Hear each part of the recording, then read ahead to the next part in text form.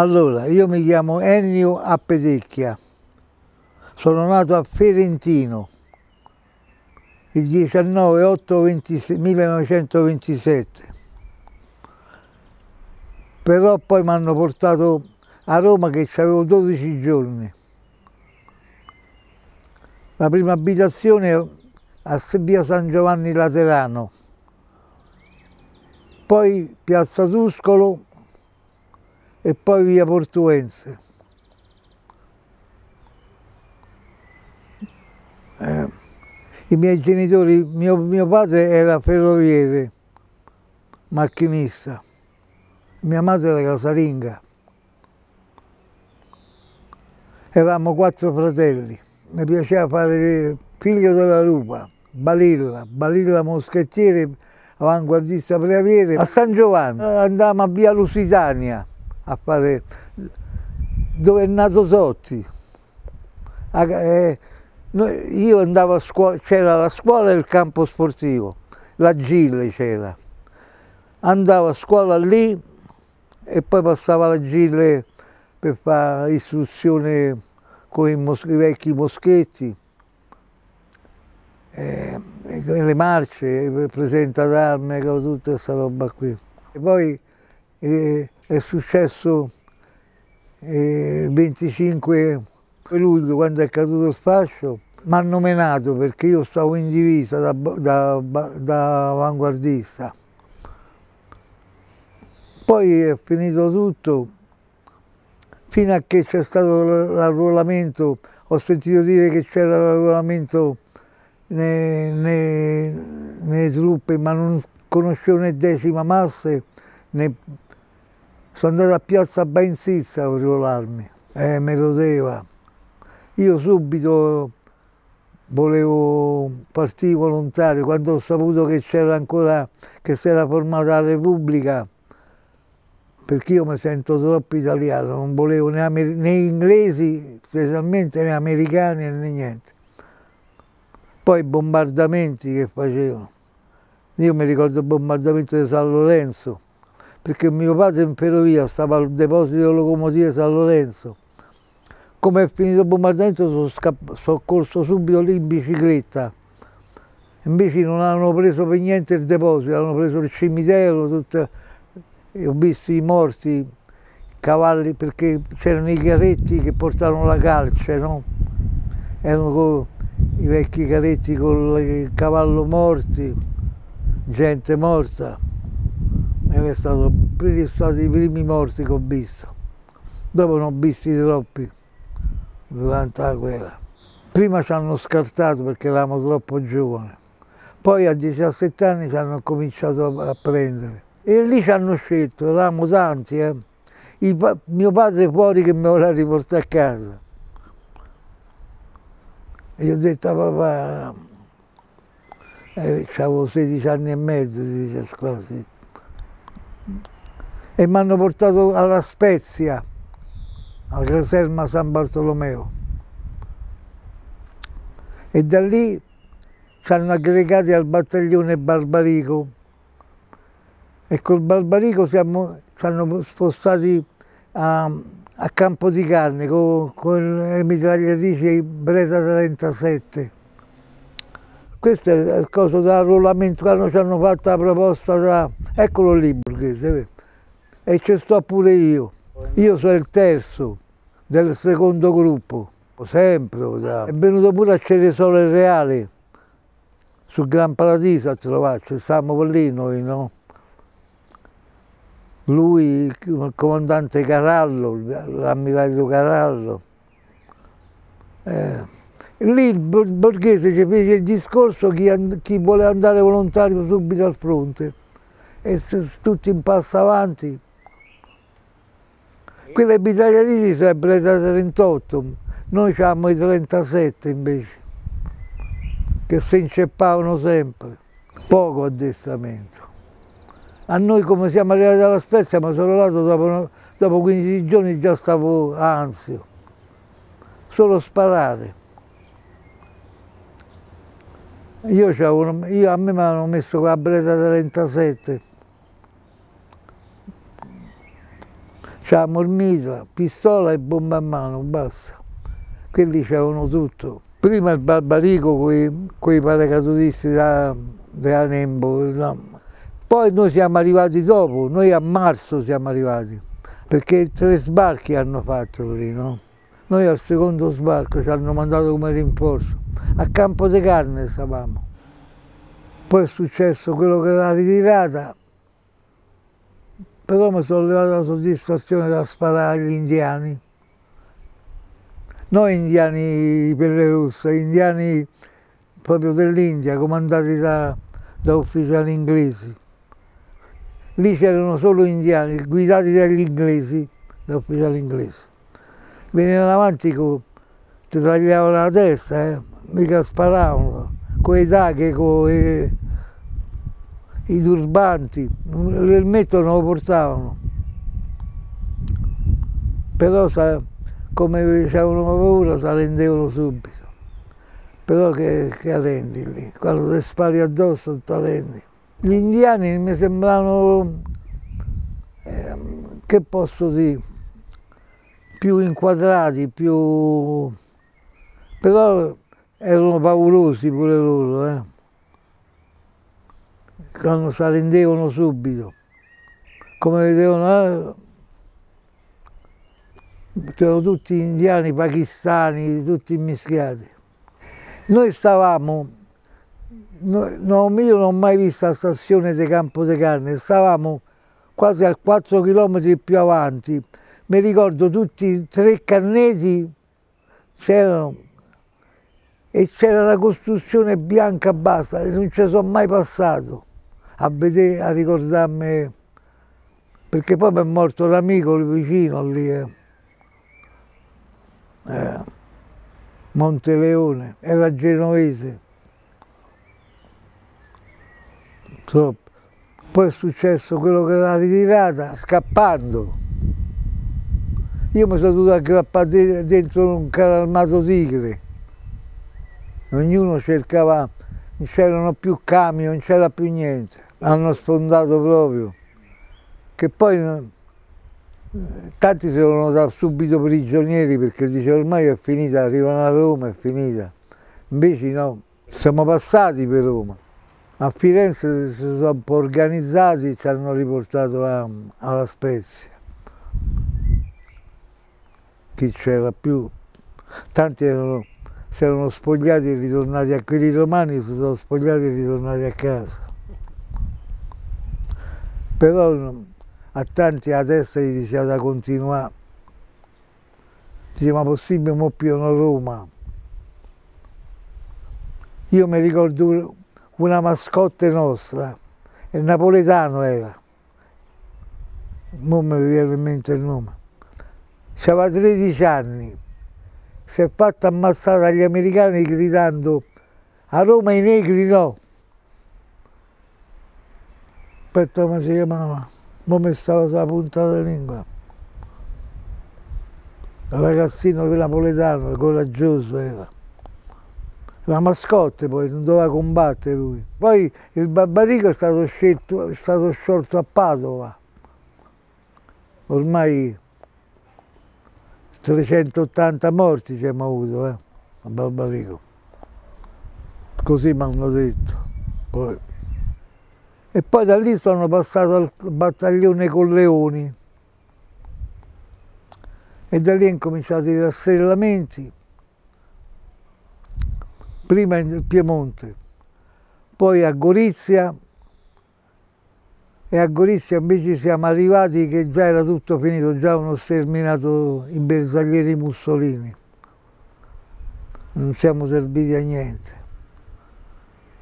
Poi siamo tornati a Ivrea poi hanno ammazzato il, comandante, il mio comandante Bardelli.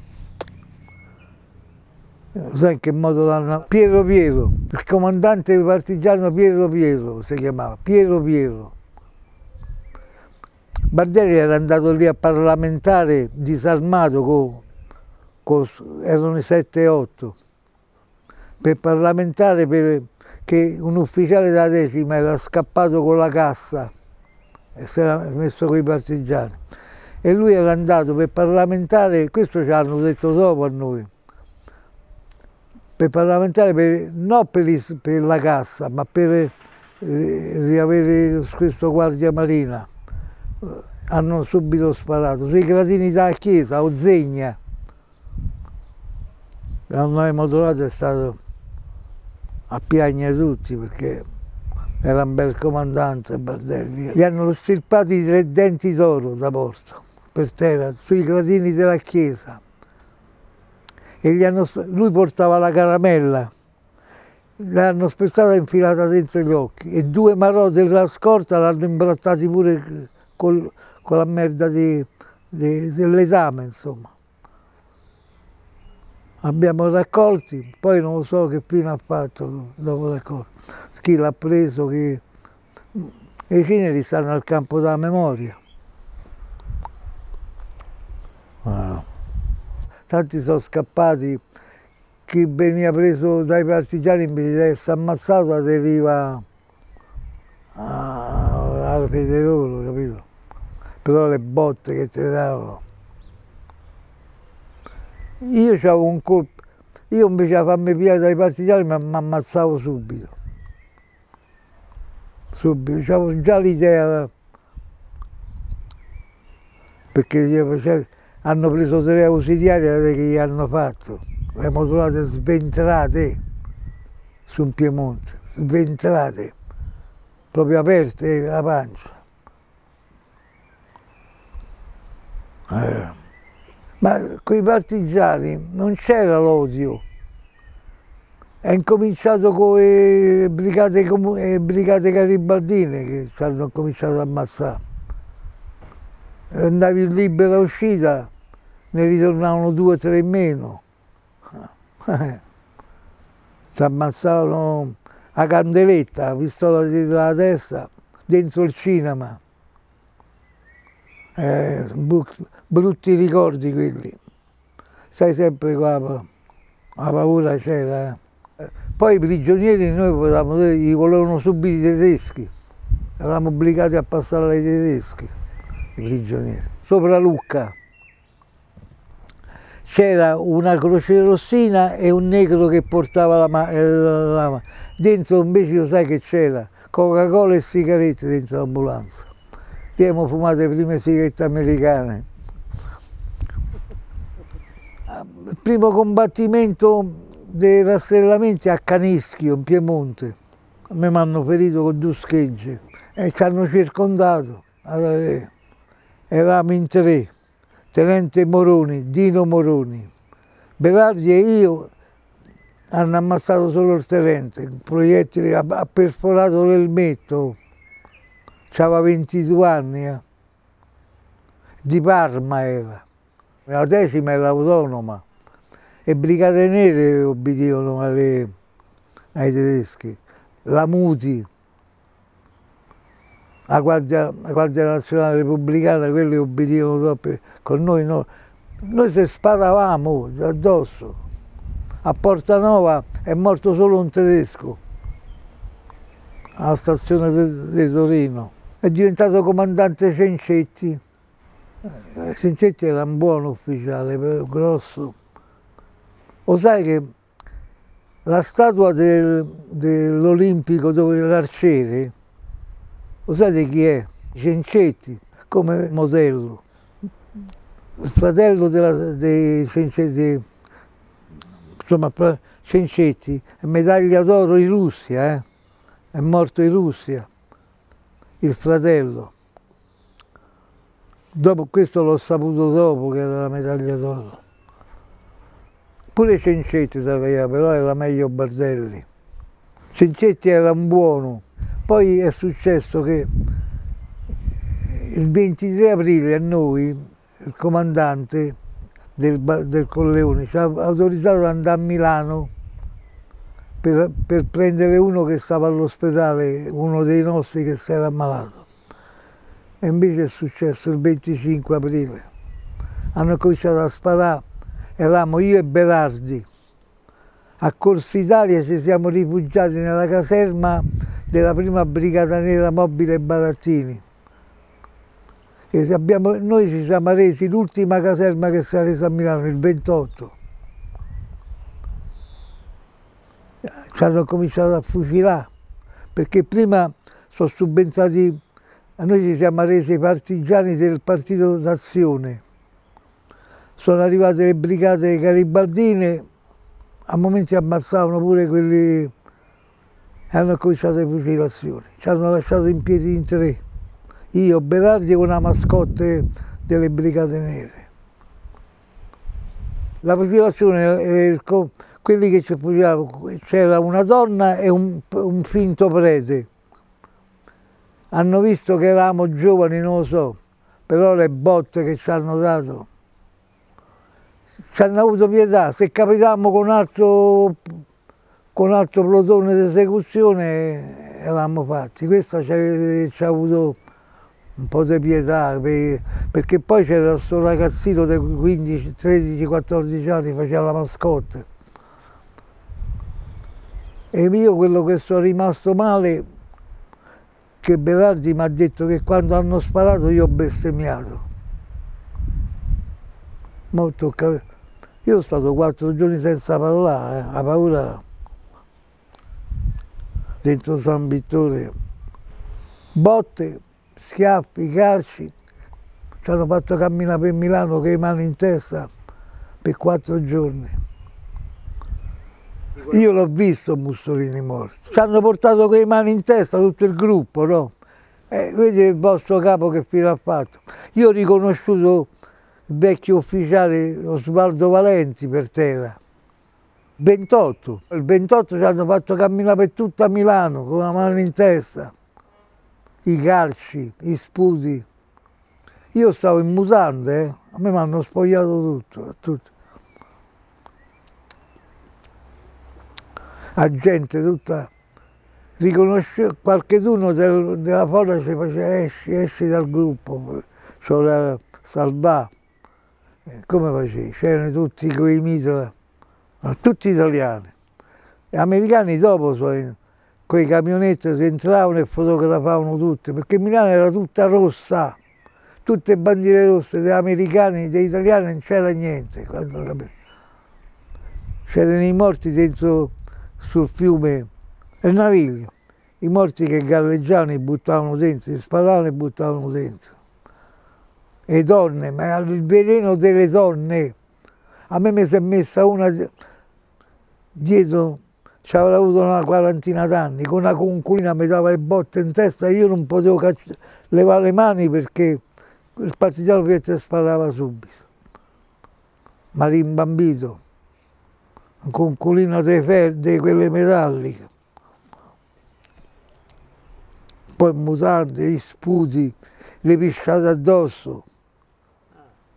Certe, io ho visto uno pisciare sulla faccia di Mussolini, è morto e un partigiano gli ha dato uno schiaffone, chissà che eh, si vede che c'era un po' di coscienza, capito? E ci hanno portato a San Vittore il primo maggio. Abbiamo fatto questi 11 mesi di galera, 6 in cella. Litigavamo, perché uno c'era il buiolo, no? Chi doveva fare il bisogno prima, dopo, cioè. ne parlavamo per niente. È stata un'esperienza, brutta è stata. Io il diciottesimo anno l'ho compiuto dentro il carcere, dentro San Vittore. Pure a San Vittore. Io ho visto portare via, perché noi abbiamo sfondato tutti, tutte le celle, no? Però non potevamo uscire dal braccio.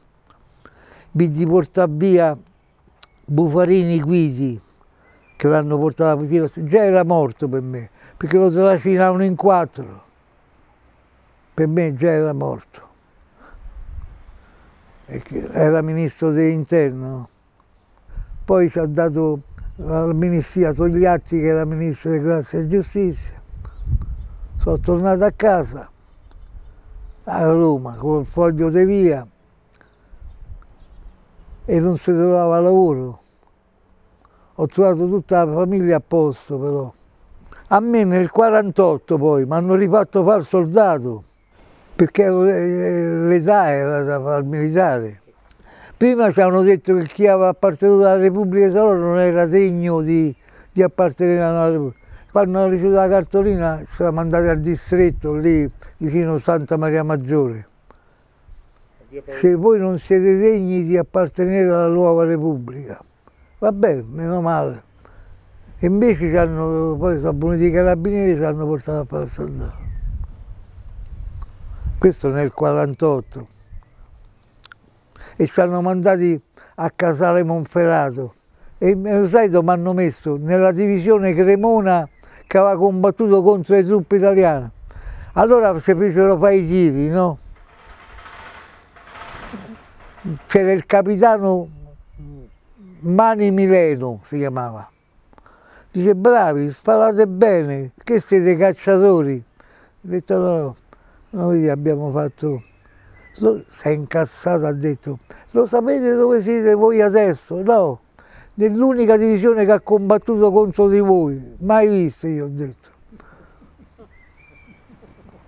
Eh, io e Berardi eravamo.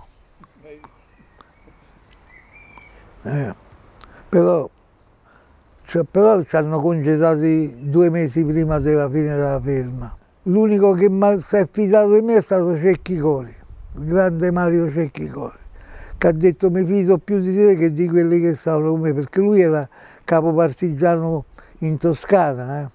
Mario Cecchicone, così mi ha detto. E lì ho cominciato la vita del cinema mm, come produzione, prima segretario, poi ispettore, poi direttore. Sono entrato con Cecchicori nel 55-56. Cosa fa? Sorpasso, poi Brancaleoni, poi a Califfa. I primi tempi Cinecittà era brutta, eh? E tutti rossi. Ecco il fascista quando entravo. Però poi piano piano si è calmato pure lì tutto. Pianello era cagliato. Aderito alla RSI. La moglie stava con noi, era ausiliaria, eh? La Montaini, sanno, era, era la positiaria nostra, dalla decima. Eh, apparteneva alle fiamme bianche i giovani, capito? Paolo Stoppa era dei nostri. Era dalla decima Osvaldo Valenti, la ferita. E poi io ci ho lavorato pure, ho incontrato a Scalera Film quando eravamo ancora civili. Abitavo a Piazza Tuscolo, la Scalera stava a Piazza Zama ci piavano i comparsi, i bambini, le cose. Dario Po, mamma mia. Facemmo un film a Bologna che poi non è mai uscito. C'era lui e la moglie al ristorante, una sera sempre, eh, mi guardava e diceva ma tu sei fascista, ma perché te che eri? È successa la discussione, a momenti si piava le mani con la moglie vicina, si è insultato mio marito perché tra l'altro come da fascista è diventato comunista e poi mi sono messo all'84 in pensione. Ho continuato a lavorare dieci anni al nero, poi i sindacati mi hanno detto Mussolini, buono, eh, non me lo toccate. Io penso a quello che ha detto all'ultimo discorso, la socializzazione nessuno ne parla, pure io non sono stato mai iscritto al movimento sociale, a Alleanza, mai con nessun partito mi sono mai iscritto. Almirante ci fece la proposta di diventare onorevoli, abbiamo rifiutato tutti quelli, io, Berardi, tutto, Malvesti, tutti. Con, con Almirante sappiamo, era stato ministro pure nostro. Eh. C'era divergenze politiche. Io credo, credo, qui non ne parlano, tutti i partiti di destra non parlano mai di socializzazione, quello che ha detto Mussolini, l'ultimo discorso. Ha obbedito troppo al passo di Hitler, ha obbedito troppo. Era, era diventato succube per me. L'unica colpa che posso fare è quella, che ha creduto nel pazzo. Perché quello per, me era proprio pazzo. Eh. Proprio... io ho l'odio più verso il nazismo che verso i comunisti, cose che non so perché, ho proprio l'odio. Io sono dei partiti comunisti ho ammirato solo Berlinguer. Togliatti, Berlinguer è stato un grande uomo, è stato gagliardo. Eh. Coso, come si chiama? Quello piccolo, il presidente. Pertini. Mamma mia bella, mamma mia, per carità. No, l'unico che potevo dire era um, Berlinguer. Che poi Berlinguer, Almirante andò al funerale di Berlinguer, erano quello fascista e quello comunista. Fascista, Almirante. A me cos'è come mi chiamano? Il fascista antinazista perché non posso, noi litigavamo con le SS, non si potevamo vedere, ci sputavano addosso le SS quando camminavamo insieme, tu. Io il pazzo non lo potevo vedere. Quando ci portarono all'arrivo di Hitler alla stazione di Ostiense, i Balilla, i figli da Lupa e le piccole italiane, già mi, come ho visto già mi stava qui, non lo so perché. E poi si è dimostrato pazzo proprio. Ma noi del campo di concentramento non sapevamo niente. Ce l'hanno fatto vedere per la prima volta dentro il carcere, a San Vittorio hanno messo un telone e ci fatto vedere se, se, ho detto ma possibile facevano queste cose. A noi con stesse siamo sparati a Porta Nuova a Torino, eh, perché c'era un capitano, padre tedesco e madre italiana, ci sputava addosso e ci diceva se non c'eravamo noi voi non esistevate, se non c'era il, il, nazismo eh, c'era Berardi che voleva sparare sul... mai, mai, con, le, con la Wehrmacht lo potevamo vedere perché erano quasi tutti austriaci e non vedono l'ora che finiva la guerra. Mi ricordo c'erano gente che diceva, parlavano italiano bene, però io, a me ancora mi chiamano il fascista antinazista, dice è possibile, il fascista antinazista. La dottrina nazista non l'SS italiana la potevamo vedere, perché se senti la fede, la cosa, ma, ma cioè la divisa italiana deve mettere l'SS, non si potevamo vedere nemmeno con loro. Non c'era motivo da mettersi con, con la divisa tedesca. noi eravamo tanti battaglioni nella decima. Il più famoso era prima Barbarico, con Leoni, Lupo, Fulmine, Valanga e Sagittario di Fumai. Fumai sempre a Gorizia contro i Slavi, eh. grande, quello è stato grande davvero. Il comandante nostro, il colone, si chiamava Boriello, il colone era aggregato al lupo.